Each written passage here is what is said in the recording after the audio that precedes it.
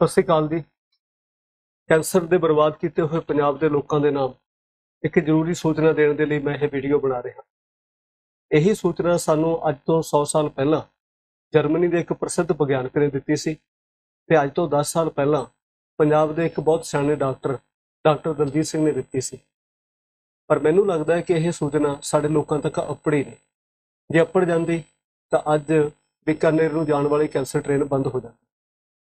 ਜੇ ਤੁਸੀਂ ਚਾਹੁੰਦੇ ਹੋ ਕਿ ਤੁਹਾਡਾ ਪਰਿਵਾਰ ਕੈਂਸਰ ਤੋਂ ਹਮੇਸ਼ਾ ਬਚਿਆ ਰਹੇ, ਤੇ ਤੁਹਾਨੂੰ ਕੋਈ ਜ਼ਮੀਨ ਦਾ ਕਿੱਲਾ ਵੇਚ ਕੇ ਕਿਸੇ ਹਸਪਤਾਲ ਨੂੰ ਨਾ ਦੇਣਾ ਪਵੇ, ਤਾਂ ਇਸ ਵੀਡੀਓ ਨੂੰ ਅੰਤ ਤੱਕ ਦੇਖਿਓ ਤੇ ਅਮਲ ਵੀ ਕਰਿਓ। ਸਨ 2012 ਦੇ ਵਿੱਚ ਬਾਦਲ ਸਰਕਾਰ ਨੇ ਪਹਿਲੀ ਵਾਰ ਕੈਂਸਰ ਸਰਵੇ ਕਰਵਾਇਆ ਸੀ। ਤੇ ਉਦੋਂ ਪਤਾ ਲੱਗਿਆ ਸੀ ਕਿ ਕੈਂਸਰ ਦੇ ਕਾਰਨ ਪੰਜਾਬ ਵਿੱਚ ਰੋਜ਼ 18 ਮੌਤਾਂ ਹੁੰਦੀਆਂ ਨੇ। ਤੇ ਇਸ ਰਿਪੋਰਟ ਨੂੰ ਪੜ੍ਹ ਕੇ ਚਾਰੇ ਪਾਸੇ ਹਾਹਾਕਾਰ ਮਚ ਸੀ। ਕੈਂਸਰ ਦੇ ਲੇਖ ਛਪਣ ਲੱਗੇ, ਖਬਰਾਂ ਆਉਣ ਲੱਗੀਆਂ ਪੰਜਾਬ ਸਰਕਾਰ ਨੇ ਪਿੰਡਾਂ ਦੇ ਵਿੱਚ ਸਰਕਾਰੀ ਆਰਓ ਲਾਉਣੇ ਸ਼ੁਰੂ ਕੀਤੇ। ਨਵੇਂ ਕੈਂਸਰ ਹਸਪਤਾਲ ਖੁੱਲਣ ਲੱਗੇ। ਪਰ ਅੱਜ 2024 ਆ ਚੁੱਕਿਆ 12 ਸਾਲ ਬੀਤ ਗਏ ਨੇ। 12 ਸਾਲਾਂ ਬਾਅਦ ਅੱਜ ਕੀ ਪੋਜੀਸ਼ਨ ਹੈ? ਸਾਰਾ ਪੰਜਾਬ ਅੱਜ ਆਰਓ ਦਾ ਪਾਣੀ ਪੀ ਰਿਹਾ ਹੈ। ਕੀ ਕੈਂਸਰ ਘਟਿਆ? 2022 ਦੀ Indian council of medical research the report ਦੇ ਮੁਤਾਬਕ 2022 ਦੇ ਸਾਲ ਵਿੱਚ ਕੈਂਸਰ ਕਾਰਨ ਪੰਜਾਬ ਵਿੱਚੋਂ 23301 23301 ਅਰਥੀਆਂ ਉੱਠੀਆਂ। ਮਤਲਬ ਕਿ ਰੋਜ਼ ਦੀਆਂ 65 ਮੌਤਾਂ। 12 ਸਾਲ ਦੇ ਵਿੱਚ ਕੈਂਸਰ 18 ਤੋਂ ਵੱਧ ਕੇ 65 ਮੌਤਾਂ ਤੇ ਪਹੁੰਚ ਗਿਆ। ਪਰ ਅੱਜ ਮੀਡੀਆ ਚੁੱਪ ਹੈ, ਕੋਈ ਖਬਰ ਨਹੀਂ ਆਂਦੀ ਸਰਕਾਰ ਵੀ ਚੁੱਪ ਹੈ। ਅੱਜ ਡਾਕਟਰ ਓਟੋ ਹੈਨਰਿਕ ਦੀ ਉਹ 100 ਸਾਲ ਪੁਰਾਣੀ ਖੋਜ ਸਾਡਾ ਸਹਾਰਾ ਬਣ ਸਕਦੀ ਕੌਣ ਸੀ ਡਾਕਟਰ ਓਟੋ ਹੈਨਰਿਕ ਬਾਰਬਰ? ਉਹ ਉਸ ਸਮੇਂ ਦਾ ਜਰਮਨੀ ਦਾ ਪ੍ਰਸਿੱਧ ਵਿਗਿਆਨਕ ਸੀ, ਜਿਸ ਨੂੰ 1931 ਦੇ ਵਿੱਚ ਫਿਜ਼ੀਓਲੋਜੀ ਦੇ ਵਿੱਚ ਨੋਬਲ ਪ੍ਰਾਈਜ਼ ਵੀ ਮਿਲਿਆ ਸੀ। ਕਿਸੇ ਵੀ ਸਾਇੰਟਿਸਟ ਨੇ ਨੋਬਲ ਪ੍ਰਾਈਜ਼ ਮਿਲਣਾ ਇੱਕ ਬਹੁਤ ਹੀ ਮਾਣ ਵਾਲੀ ਗੱਲ। ਉਸਨੇ ਕੈਂਸਰ ਦੇ ਸੈੱਲਾਂ ਤੇ ਖੋਜ ਕੀਤੀ ਤੇ 1923 ਦੇ ਵਿੱਚ ਇੱਕ ਕਿਤਾਬ ਲਿਖੀ।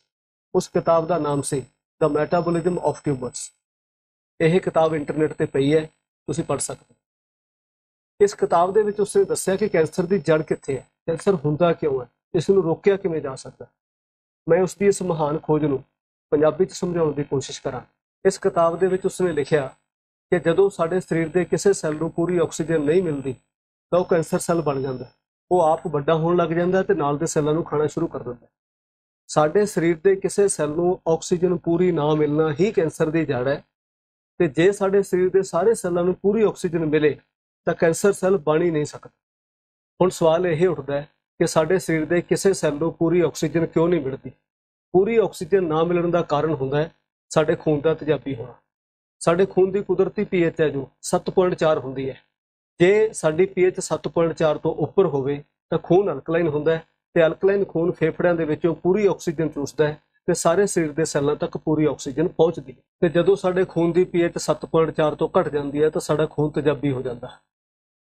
ਤੇਜ਼ਾਬੀ ਖੂਨ ਦੀ ਫੇਫੜਿਆਂ ਵਿੱਚੋਂ ਆਕਸੀਜਨ ਚੂਸਣ ਦੀ ਸਮਰੱਥਾ, ਕਪੈਸਿਟੀ ਬਹੁਤ ਘੱਟ ਹੁੰਦੀ ਹੈ। ਜਦੋਂ ਖੂਨ ਕੋਲੇ ਪੂਰੀ ਆਕਸੀਜਨ ਨਹੀਂ ਹੁੰਦੀ, ਤਾਂ ਸਾਡੇ ਸਰੀਰ ਦੇ ਵਿੱਚ ਹਰ ਸੈੱਲ ਨੂੰ ਪੂਰੀ ਆਕਸੀਜਨ ਨਹੀਂ ਪਹੁੰਚਦੀ। ਤੇ ਸਾਡੇ ਸਰੀਰ ਵਿੱਚ ਕੈਂਸਰ ਸੈੱਲ ਬਣਨ ਦੀ ਸੰਭਾਵਨਾ ਵੱਧ ਜਾਂਦੀ ਹੈ। ਇਸੇ ਕਰਕੇ ਕਿਹਾ ਜਾਂਦਾ ਹੈ ਕਿ ਸਾਡਾ ਖੂਨ ਕਦੇ ਵੀ ਤੇਜ਼ਾਬੀ ਨਹੀਂ ਹੋਣਾ ਚਾਹੀਦਾ। ਹੁਣ ਸਵਾਲ ਇਹ ਉੱਠਦਾ ਹੈ ਕਿ ਸਾਡਾ ਖੂਨ ਤੇਜ਼ਾਬੀ ਹੁੰਦਾ ਕਿਉਂ? ਸਾਡਾ ਖੂਨ ਤੇਜ਼ਾਬੀ ਉਦੋਂ ਹੁੰਦਾ ਹੈ ਜਦੋਂ ਅਸੀਂ ਤੇਜ਼ਾਬੀ ਚੀਜ਼ਾਂ ਖਾਂਦੇ ਆ ਤੇ ਅਸੀਂ ਤੇਜ਼ਾਬੀ ਚੀਜ਼ਾਂ ਪੀਂਦੇ ਆ ਤੇ ਜੇ ਅਸੀਂ ਸਾਰਾ ਦਿਨ ਅਲਕਲਾਈਨ ਖਾਈਏ ਤੇ ਅਲਕਲਾਈਨ ਪੀਏ ਤਾਂ ਸਾਡਾ ਖੂਨ ਕਦੇ ਵੀ ਤੇਜ਼ਾਬੀ ਨਹੀਂ ਹੋ ਸਕਦਾ, ਇਹ ਹਮੇਸ਼ਾ ਅਲਕਲਾਈਨ ਹੀ ਰਹੂਗਾ। ਹੁਣ ਤੁਸੀਂ ਪੁੱਛੋਗੇ ਕਿ ਕਿਹੜਾ ਖਾਣਾ ਅਲਕਲਾਈਨ ਹੈ ਤੇ ਕਿਹੜਾ ਖਾਣਾ ਤੇਜ਼ਾਬੀ ਹੈ? ਇਸ ਦਾ ਬਸ ਸਿੱਧਾ ਜਿਹਾ ਫਾਰਮੂਲਾ ਇੱਕ ਹੀ ਹੈ ਕਿ ਜੋ ਰੱਬ ਨੇ ਸਾਨੂੰ ਦਿੱਤਾ, ਉਹ ਸਾਰਾ ਅਲਕਲਾਈਨ ਹੈ ਤੇ ਜਿਹੜਾ ਸਾਨੂੰ ਹਲਵਾਈਆਂ ਨੇ ਤੇ ਕੰਪਨੀਆਂ ਨੇ ਦਿੱਤਾ, ਉਹ ਸਾਰਾ ਤੇਜ਼ਾਬੀ ਹੈ। ਜਿਵੇਂ ਗਾਜਰ, ਮੂਲੀ, ਸ਼ਲਗਮ, ਖੀਰਾ, ਤਰਾਂ, ਬੇਰ, ਜਾਮਣ, ਅਮਰੂਦ, ਸੇਬ, ਸੰਤਰਾ, ਕੇਲਾ, ਇਹ ਸਭ ਅਲਕਲਾਈਨ ਨੇ। ਤੇ ਦੂਜੇ ਪਾਸੇ ਤੇਜ਼ਾਬੀ ਖਾਣੇ ਕਿਹੜੇ ਨੇ? ਚਾਹ, ਕੌਫੀ, ਮਠਿਆਈ, ਪਕੌੜੇ, ਪੀਜ਼ਾ 버ਗਰ ਕੁਲਚੇ ਸਮੋਸੇ ਆਲੂ ਟਿੱਕੀ ਕੋਕਾ ਕੋਲਾ ਪੈਪਸੀ ਡੱਬਾਬੰਦ ਜੂਸ ਕੁਰਕਰੇ ਸ਼ਰਾਬ ਇਹ ਸਭ ਤੇਜ਼ਾਬੀ ਨੇ ਯਾਨੀ ਕਿ ਸਿੱਧੀ ਗੱਲ ਇਹ ਹੈ ਕਿ ਅਸੀਂ ਆਪਣੇ ਪੈਰਾਂ ਤੇ ਕੁਹਾੜੀ ਆਪ ਹੀ ਮਾਰੀ ਹੈ। ਪਿਛਲੇ 15 ਸਾਲਾਂ ਦੇ ਵਿੱਚ ਤੇਜ਼ਾਬੀ ਖਾਣਾ ਬਹੁਤ ਹੀ ਵੱਧ ਗਿਆ। ਤੁਸੀਂ ਵਿਆਹਾਂ ਦੇ ਵਿੱਚ ਜਾ ਕੇ ਦੇਖ ਲਓ, ਸਭ ਤੋਂ ਜ਼ਿਆਦਾ ਭੀੜ ਆਲੂ ਗੋਭੀ ਦੇ ਪਕੌੜੇ, ਮੱਛੀ ਦੇ ਪਕੌੜੇ, ਚਿਕਨ ਦੇ ਪਕੌੜੇ, ਮਠਿਆਈ, ਸ਼ਰਾਬ, ਮੀਟ, ਇਹਨਾਂ ਸਟਾਲਾਂ ਤੇ ਹੁੰਦੀ ਹੈ। ਤੇ ਜਿਹੜੇ ਕਾਊਂਟਰ, ਕੰਮ ਦੇ ਕਾਊਂਟਰ ਹੁੰਦੇ ਨੇ ਸਲਾਦ ਵਾਲਾ ਤੇ ਫਰੂਟ ਵਾਲਾ ਉਹ ਖਾਲੀ ਪਏ ਹੁੰਦੇ ਨੇ। ਅੱਜ ਹਰ ਪਿੰਡ ਦੇ ਵਿੱਚ ਸਮੋਸਿਆਂ ਦੀ ਦੁਕਾਨ ਹੈ 버ਗਰ ਦੀ ਰੇਹੜੀ ਆਉਂਦੀ ਹੈ, ਕੁਲਚੇ ਦੀ ਰੇੜੀ ਆਉਂਦੀ ਹੈ। ਤੁਸੀਂ ਆਪਣਾ ਫ੍ਰਿਜ ਖੋਲ ਕੇ ਦੇਖ ਲਓ। ਤੁਹਾਡੇ ਫ੍ਰਿਜ ਦੇ ਵਿੱਚ ਵੀ ਕੀ ਹੈਗਾ?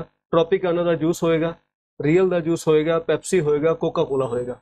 ਤੁਸੀਂ ਆਪਣੇ ਬੱਚੇ ਨੂੰ 50 ਰੁਪਏ ਦੇ ਕੇ ਦੇਖ ਲਓ। ਉਹ ਕਦੇ ਵੀ ਬੇਰ ਤੇ ਕਿੰਨੂ ਨਹੀਂ ਲੈ ਕੇ ਆਏਗਾ। ਉਹ ਹਮੇਸ਼ਾ ਲੇਸ ਤੇ ਕੁਰਕਰੇ ਲੈ ਕੇ ਆਏਗਾ। ਕਿਉਂ? ਕਿਉਂਕਿ ਉਹ ਖਾਣਾ ਸਵਾਦ ਹੀ ਇੰਨਾ ਬਣਾਉਂਦੇ ਨੇ। ਪੰਜਾਬੀ ਖਾਣਾ ਸਵਾਦ ਹੀ ਇੰਨਾ ਹੁੰਦਾ ਹੈਗਾ। ਪਰ ਸਰੀਰ ਵਿਚਾਰਾ ਕੀ ਕਰੇ? ਰੱਬ ਨੇ ਸਾਨੂੰ ਪੈਟਰੋਲ ਵਾਲੀ ਕਾਰ ਦਿੱਤੀ ਸੀ ਤੇ ਅਸੀਂ ਸਵੇਰੇ ਡੀਜ਼ਲ ਦੇ ਨਾਲ ਉਹਦੀ ਟੈਂਕੀ ਭਰ ਲੈਂਦੇ ਆ ਪਰ ਇਹ ਕਾਰ ਫਿਰ ਵੀ ਔਖੀ ਸੌਖੀ ਹੋ ਕੇ ਚੱਲ ਰਹੀ ਹੈ। ਕਿਉਂ ਚੱਲ ਰਹੀ ਹੈ? ਕਿਉਂਕਿ ਉਹ ਵੱਡੇ ਇੰਜੀਨੀਅਰ ਨੇ ਬਣਾਈ ਸੀ ਤੇ ਜੇ ਕਿਤੇ ਬੰਦੇ ਨੇ ਬਣਾਈ ਹੁੰਦੀ ਇੱਕ ਦਿਨ ਵੀ ਨਾ ਚੱਲਦੀ। ਡਾਕਟਰ ਦਲਜੀਤ ਸਿੰਘ ਨੇ ਆਪਣੀ ਕਿਤਾਬ ਬਦੀ ਦੀ ਜੜ ਵਿੱਚ ਕੈਂਸਰ ਬਾਰੇ ਇੱਕ ਲੇਖ ਲਿਖਿਆ। ਉਸ ਦੇ 121 ਨੰਬਰ ਪੇਜ ਦੇ ਉੱਤੇ ਉਹ ਲਿਖਦੇ ਨੇ ਕਿ ਜਿਨ੍ਹਾਂ ਲੋਕਾਂ ਦੇ ਖੂਨ ਦਾ ਪੀਐਚ 7.4 ਤੋਂ ਵੱਧ ਹੁੰਦਾ ਹੈ, ਉਹਨਾਂ ਨੂੰ ਕਦੇ ਕੈਂਸਰ ਨਹੀਂ ਕਿਉਂਕਿ ਸਰੀਰ ਵਿੱਚ ਆਕਸੀਜਨ ਦੀ ਮਾਤਰਾ ਹਮੇਸ਼ਾ ਉੱਚੀ ਹੁੰਦੀ ਹੈ ਤੇ ਕੈਂਸਰ ਸੈੱਲ ਝੱਟ ਮਰ ਜਾਂਦੇ ਨੇ। ਆਕਸੀਜਨ ਨਾਲ ਭਰੇ ਹੋਏ ਵਾਤਾਵਰਣ ਦੇ ਵਿੱਚ ਕੈਂਸਰ ਸੈੱਲ ਜਿਉਂਦੇ ਨਹੀਂ ਰਹਿ ਸਕਦੇ। ਇਸ ਕਰਕੇ ਜੇ ਅਸੀਂ ਕੈਂਸਰ ਰੋਕਣਾ ਹੈ ਤਾਂ ਸਭ ਤੋਂ ਪਹਿਲਾ ਹੱਲ ਇਹੀ ਹੈ ਕਿ ਤੇਜ਼ਾਬੀ ਖਾਣਾ ਬੰਦ ਕਰੋ, ਅਲਕਲਾਈਨ ਖਾਓ। ਪਰ ਸਾਡਾ ਸਮਾਜ ਐਸਾ ਹੈ ਕਿ ਤੇਜ਼ਾਬੀ ਖਾਣੇ ਬਿਨਾਂ ਸਾਡਾ ਸਰਦਾ ਨਹੀਂ। ਕਿਸੇ ਵੇਲੇ ਅਸੀਂ ਸਾਨੂੰ ਚਾਹ ਪੀਣੀ ਪੈਂਦੀ ਹੈ, ਕਿਸੇ ਵੇਲੇ ਸਮੋਸਾ ਵੀ ਖਾਣਾ ਪੈਂਦਾ ਹੈ, ਕਿਸੇ ਵੇਲੇ ਮੀਂਹ ਪੈਂਦਾ ਹੋਵੇ ਤਾਂ ਪਕੌੜੇ ਖਾਣ ਨੂੰ ਵੀ ਜੀ ਕਰ ਆਉਂਦਾ ਹੈ। ਉਸ ਵੇਲੇ ਬਸ ਇਹ ਕਰੋ, ਜਿੰਨਾ ਤੁਸੀਂ ਤੇਜ਼ਾਬੀ ਖਾਦਾ ਉਸ ਤੋਂ ਜ਼ਿਆਦਾ ਅਲਕਲਾਈਨ ਖਾਓ, ਜ਼ਿਆਦਾ ਕੱਚਾ ਖਾਓ। ਜਦੋਂ ਮੂਲੀਆਂ ਖਾਣੀਆਂ ਨੇ, ਉਸ ਵੇਲੇ ਕੰਜੂਸੀ ਨਹੀਂ ਕਰਨੀ।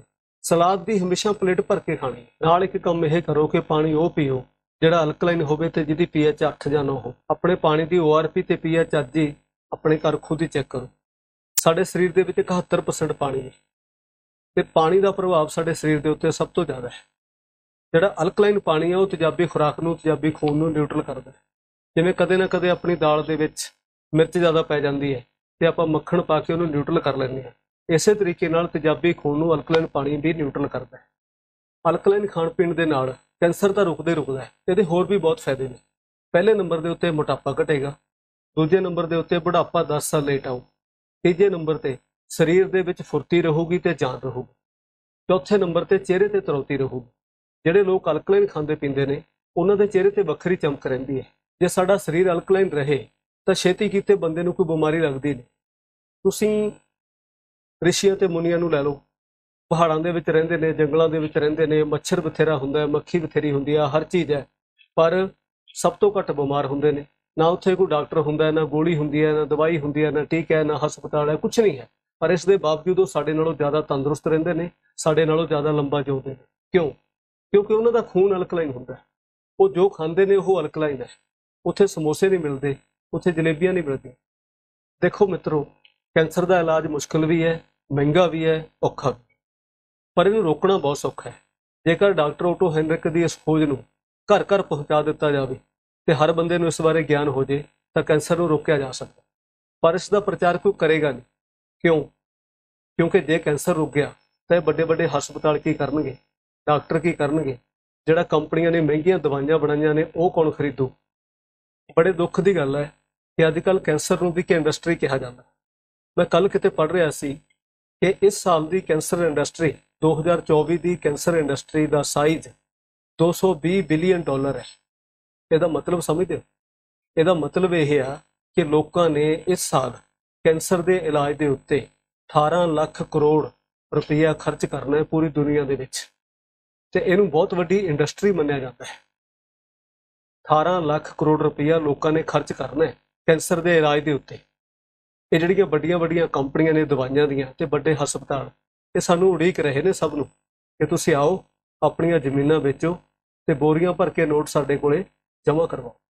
ਇਹਨਾਂ ਕੰਪਨੀਆਂ ਦੇ ਦਬਾਅ ਕਾਰਨ ਇਸ ਨੋਬਲ ਇਨਾਮ ਜੇਤੂ ਸਾਇੰਟਿਸਟ ਦੀ ਖੋਜ ਨੂੰ ਮੈਡੀਕਲ ਕਾਲਜਾਂ ਦੇ ਸਿਲੇਬਸ ਵਿੱਚੋਂ ਵੀ ਬਹੁਤ ਦੇਰ ਪਹਿਲਾਂ ਬਾਹਰ ਕੱਢ ਦਿੱਤਾ ਗਿਆ ਸੀ ਤਾਂ ਕਿ ਲੋਕਾਂ ਨੂੰ ਇਸ ਖੋਜ ਦਾ ਗਿਆਨ ਨਾ ਹੋਵੇ। ਇਹਨੂੰ ਦਬਾ ਦਿੱਤਾ ਗਿਆ ਸੀ। ਤੇ ਹੁਣ ਸਾਨੂੰ ਆਪਣਾ ਤੇ ਆਪਣੇ ਪਰਿਵਾਰ ਦਾ ਬਚਾਅ ਖੁਦ ਕਰਨਾ ਪਊ। ਇੱਕ ਛੋਟਾ ਜਿਹਾ ਯੋਗਦਾਨ ਪੰਜਾਬ ਦੇ ਵਿੱਚੋਂ ਕੈਂਸਰ ਰੋਕਣ ਦੇ ਵਿੱਚ ਤੁਸੀਂ ਵੀ ਪਾ ਸਕਦੇ ਹੋ। ਤੁਸੀਂ ਇਸ ਵੀਡੀਓ ਨੂੰ ਸ਼ੇਅਰ ਕਰ ਦਿਓ। ਜਿਸ ਵੀ ਬੰਦੇ ਤੱਕ ਇਹ ਵੀਡੀਓ ਪਹੁੰਚੇਗੀ, ਉਸ ਦਾ ਕੋਈ ਨਾ ਕੋਈ ਫਾਇਦਾ ਜ਼ਰੂਰ ਹੋ ਕੋਈ ਦੋ ਸਮੋਸੇ ਖਾਣ ਵਾਲਾ ਇੱਕ ਸਮੋਸਾ ਖਾਣ ਲੱਗ ਜੂ।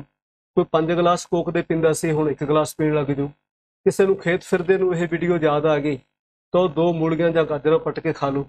ਪਰ ਜਿਹੜਾ ਵੀ ਬੰਦਾ ਇਸ ਵੀਡੀਓ ਨੂੰ ਦੇਖੇਗਾ ਉਹਦਾ ਕੁਛ ਨਾ ਕੁਛ ਫਾਇਦਾ ਜ਼ਰੂਰ ਹੋਏਗਾ। ਇਸ ਕਰਕੇ ਇੱਕ ਵਾਰੀ ਸ਼ੇਅਰ ਜ਼ਰੂਰ ਕਰ ਦਿਓ।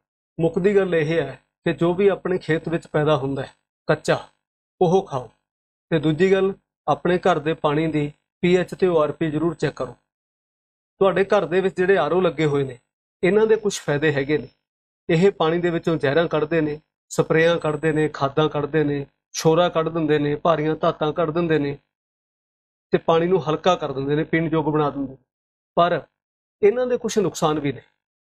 ਆਰਓ ਜਿਹੜਾ ਹੈ, ਉਹ ਪਾਣੀ ਦੇ ਵਿੱਚੋਂ ਸਾਰੇ ਤੱਤ ਬਾਹਰ ਕੱਢ ਦਿੰਦਾ ਹੈ, ਪਾਣੀ ਨੂੰ ਫੋਕਾ ਕਰ ਦਿੰਦਾ ਹੈ ਤੇ ਕਈ ਆਰਓ ਐਸੇ ਵੀ ਹੁੰਦੇ ਨੇ ਜਿਹੜੇ ਪਾਣੀ ਨੂੰ ਤੇਜ਼ਾਬੀ ਕਰਦੇ ਨੇਗੇ। ਤੇ ਤੇਜ਼ਾਬੀ ਪਾਣੀ ਦਾ ਉਹੀ ਨੁਕਸਾਨ ਹੈ, ਜਿਹੜਾ ਤੇਜ਼ਾਬੀ ਖੁਰਾਕ ਦਾ ਨੁਕਸਾਨ ਸੋ ਮਾਰਕੀਟ 'ਚੋਂ ਜਾ ਕੇ ਇੱਕ ਪੀਐਚ ਤੇ ਓਆਰਪੀ ਦੀ ਟੈਸਟਿੰਗ ਕਿੱਟ ਲੈ ਆਓ ਤੇ ਆਪਣਾ ਪਾਣੀ ਖੁਦ ਹੀ ਘਰੇ ਚੈੱਕ ਕਰ ਕਿ ਤੁਹਾਡਾ ਪਾਣੀ ਅਲਕਲਾਈਨ ਹੈ ਜਾਂ ਤੇਜ਼ਾਬੀ ਹੈ। ਇਹ ਕੋਈ ਬਹੁਤੀ ਮਹਿੰਗੀ ਨਹੀਂ ਹੁੰਦੀ 100 150 ਰੁਪਏ ਦੀ ਮਿਲ ਜਾਂਦੀ ਹੈ। ਜੇ ਤੁਹਾਨੂੰ ਲੋਕਲ ਨਹੀਂ ਮਿਲਦੀ ਤਾਂ ਵੀ ਕੋਈ ਗੱਲ ਨਹੀਂ। ਅਸੀਂ ਇਸ ਵੀਡੀਓ ਦੀ ਡਿਸਕ੍ਰਿਪਸ਼ਨ ਦੇ ਵਿੱਚ ਇੱਕ ਲਿੰਕ ਦਿੱਤਾ ਹੋਇਆ ਹੈ। ਤੁਸੀਂ ਉਸ ਲਿੰਕ ਤੇ ਕਲਿੱਕ ਕਰੋ ਤੇ Amazon ਤੋਂ ਮੰਗਵਾ ਲਓ। ਪਰ ਪਾਣੀ ਆਪਣਾ ਜ਼ਰੂਰ ਚੈੱਕ ਕਰੋ। ਪਾਣੀ ਚੈੱਕ ਕਰਨ ਵੇਲੇ ਕੁਝ ਪੁੱਛਣਾ ਹੋਵੇ ਤਾਂ ਸਾਨੂੰ WhatsApp ਕਰ ਦਿਓ। ਜੇ ਤੁਹਾਡਾ ਪਾਣੀ ਅਲਕਲਾਈਨ ਹੋਇਆ ਤਾਂ ਮਸਤੀ ਨਾਲ ਪੀਓ। ਪਰ ਜੇ ਤੁਹਾਡਾ ਪਾਣੀ ਤੇਜ਼ਾਬੀ ਹੋਇਆ ਤਾਂ ਇਸ ਨੂੰ ਅਲਕਲਾਈਨ ਕਰਕੇ ਹੀ ਪੀਓ। ਅੱਜ ਕੱਲ ਐਸੇ ਪੀਐਚ ਐਨਹਾਂਸਿੰਗ ਤੇ ਮਿਨਰਲਾਈਜ਼ਿੰਗ ਸਿਸਟਮ ਬਣ ਚੁੱਕੇ ਨੇ, ਜਿਹੜੇ ਲਾਵੇ ਦੇ ਪਹਾੜਾਂ ਦੀ ਮਿੱਟੀ ਦੀਆਂ ਬਣੀਆਂ ਹੋਈਆਂ ਬਾਇਓਸੈਰਾਮਿਕਸ ਬਾਲ ਦੇ ਰਾਹੀਂ। ਪਾਣੀ ਦੇ ਵਿੱਚ ਜ਼ਰੂਰੀ ਮਿਨਰਲ ਵੀ ਐਡ ਕਰਦੇ ਨੇ ਤੇ ਪਾਣੀ ਨੂੰ ਅਲਕਲਾਈਨ ਵੀ ਕਰਦੇ ਨੇ। ਜੇ ਤੁਹਾਨੂੰ ਇਸ ਬਾਰੇ ਕੋਈ ਜਾਣਕਾਰੀ ਚਾਹੀਦੀ ਹੈ ਤਾਂ ਸਾਨੂੰ WhatsApp ਕਰ ਦਿਓ, ਅਸੀਂ ਤੁਹਾਨੂੰ ਜਾਣਕਾਰੀ ਭੇਜ ਦਿਆਂਗੇ। ਇਸ ਵੀਡੀਓ ਦੇ ਸਬਜੈਕਟ ਮੈਟਰ ਬਾਰੇ ਤੁਹਾਡਾ ਕੋਈ ਸਵਾਲ ਹੋਵੇ ਜਾਂ ਤੁਹਾਡਾ ਕੋਈ ਸੁਝਾਅ ਹੋਵੇ ਤਾਂ ਸਾਨੂੰ ਜ਼ਰੂਰ WhatsApp ਕਰ ਸਕਦੇ ਹੋ ਜਾਂ ਕਮੈਂਟ ਕਰ ਸਕਦੇ ਹੋ। ਇਸ ਵੀਡੀਓ ਨੂੰ ਪੂਰਾ ਦੇਖਣ ਦੇ ਲਈ ਤੁਹਾਡਾ ਧੰਨਵਾਦ। ਸਤਿ ਸ਼੍ਰੀ ਅਕਾਲ।